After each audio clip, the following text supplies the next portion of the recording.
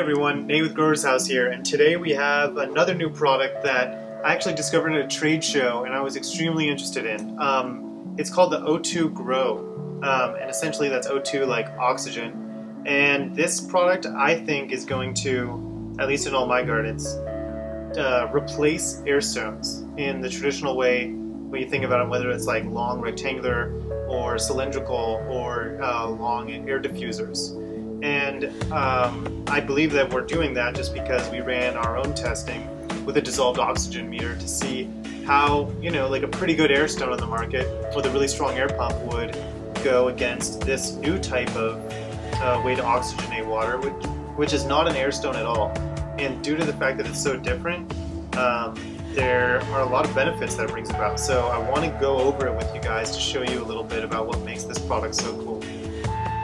So traditional bubblers and air stones are pretty inefficient at raising the dissolved oxygen level in water.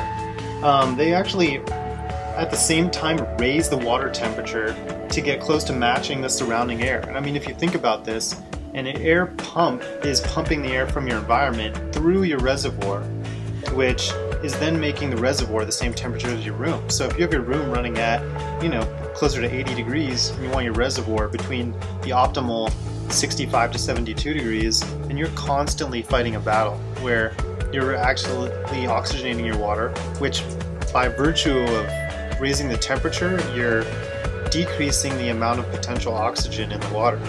So really that range of 65 to 72 is ideal. So the higher the temperature, the less oxygen you can have in your water.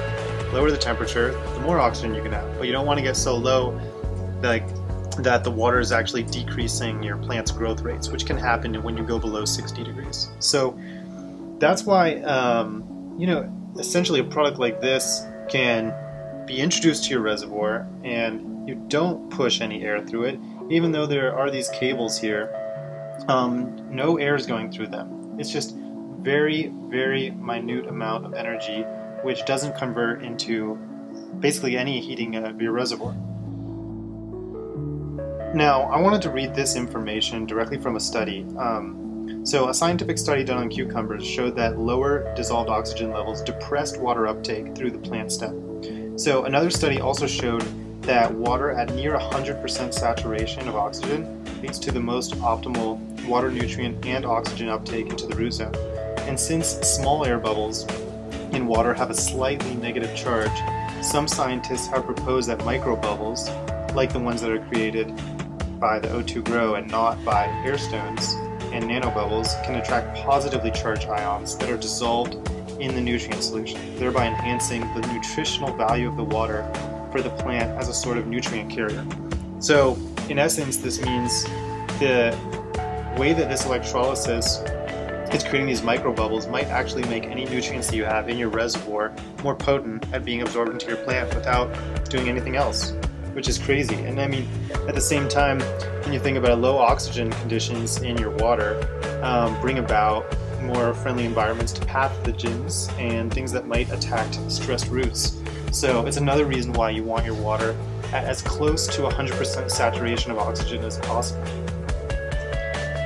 So basically, how this meter works, I mean, it's um, through electrolysis, it's just producing um, oxygen in the water. Essentially, it takes that H2O and it splits it apart, and O2 gets released in the nanobubbles, and a small amount of hydrogen is released and evaporates off. But some of you might be scared of the hydrogen gas, but don't worry, it's not enough that it could be combustible or it'll harm you. It's literally a negligible amount and won't have any harm uh, to anyone, neither you or your plants. So these, uh, also if you're taking a look at it, use a fraction of the energy that most air stones do putting into the reservoir. So it might be more effective at oxygenating the water and more effective on your electricity bill, depending on the size of reservoir you use and the type of air pumps you use. One thing that's really important to know with this is you can't really use it on DI water or deionized water. Water that has zero parts per million, this electrolysis doesn't really work. It actually works best on solutions that have a lot of conductivity in them. So that means put this in your nutrient reservoir with your nutrients in it. RO water, it'll still work in, but not as well. So the more parts per million you have in your water, the better this works. So um, effectively put it in with your with your nutrients in your reservoir. Don't worry about your nutrients mucking it up or getting it dirty. Um, they do get a little bit dirty over time, but you just use um, I think it's muriatic acid, which is the same thing as pool acid, and you just clean these by sticking them in it for about 30 seconds, about once a month. And that's how you keep these guys clean. And these emitters will last about 1600 hours with normal use. And what they're recommending is you buy an emitter to be sized to the reservoir that you have. And then you run it for about two to three hours a day. And that'll bring your water up to close to 100% saturation of oxygen. And then if you do that as recommended, this guy should last for about 16 to 24 months. And they recommend not getting a unit that is going to be, you know, you'd run consistently for 24 hours a day because the amount of time that you're going to have for it to be available uh, or for its use, if you're running it 24 hours a day, will essentially be cut in one tenth. So instead of 16 to 24 months, you'd be at, you know, essentially a month and a half to two and a half months. So definitely get one that's sized to the correct reservoir. Don't get a smaller one and try and run it 24 hours a day because you might also not get up to that 100% saturation level.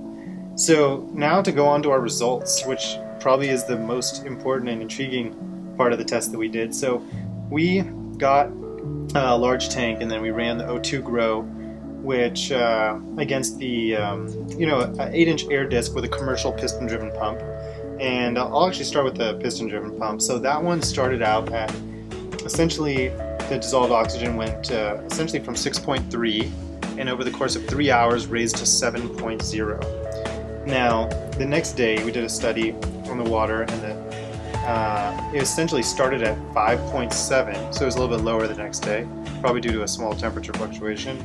And then over the course of three hours, this guy raised it to 10. So the difference is uh, pretty substantial. And uh, in talking to the people from O2 Grow, they said this is very consistent with the results that they've done and uh, the same kind of testing that they showed me at the trade show that I went to most recently. So, other than that, I mean, I do think this product is a game changer in terms of adding oxygen to your root zone so that your plants can more readily absorb nutrients and probably grow to their full potential.